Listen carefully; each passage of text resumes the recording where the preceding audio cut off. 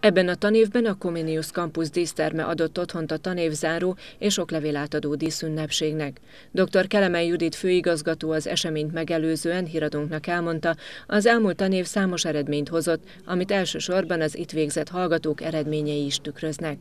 118 hallgatónk fejezte be záróvizsgáját ebben a tanévben eredményesen.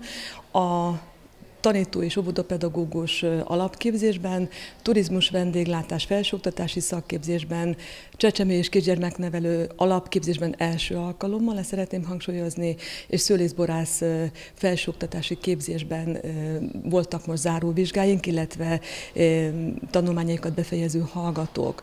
Ezek a szakok továbbra is elérhetőek, mellettük eredményként mondhatjuk, büszkén mondhatjuk, hogy ebben a tanévben volt első alkalom, hogy a gyógypedagógus alapképzésre jelentkezhettek hozzánk hallgatók, tehát egy tanéven már túl vagyunk ezen a szakon, úgyhogy ez, ami újdonság, illetve gyöcsecsemő és kisgyermeknevelő alapképzés most futott ki először diplomátadó képzésben. A díszünnepség keretében dr. Liptai Kálmán rektor adta át a végzős hallgatóknak az okleveleket, majd két oktatót magas szintű szakmai munkája elismeréseként díjaztak.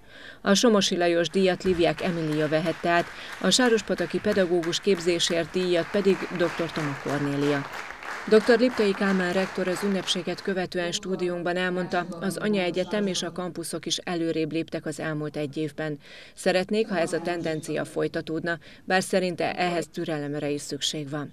Az biztos, hogy a varázsveszőt azt elfelejtettük rögtön az elején, mert hogy ezek, ezek nem varázsveszős történtek, nagyon sokat kell ebbe az irányba működni. Nyilván, amikor képviselő úrral beszélek, akkor ezeket mindig érintjük, és ő is ígéri, hogy ezekben segít. Ez egy összefogásos kérdés, úgy gondoljuk, hogy akkor lehet ide beevezni, ha közös az akarat minden szempontból. Én úgy gondolom, hogy még fog örülni Sárospatak, meg Hegyalja, a szép épületnek, meg a igazán mély komoly európai szintű képzésnek is.